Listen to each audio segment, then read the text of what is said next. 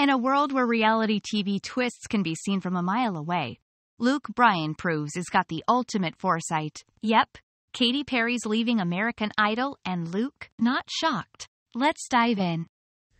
Luke Bryan, country star and part time detective, saw the signs.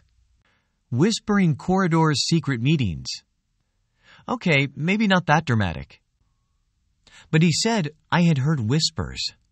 Talk about intuition. It wasn't all whispers and rumors. Luke spilled some tea on their great friendship and how he's watched Katy go from pop icon to pop icon mom. Daisy's got one cool idol for a mom and an honorary uncle in Luke.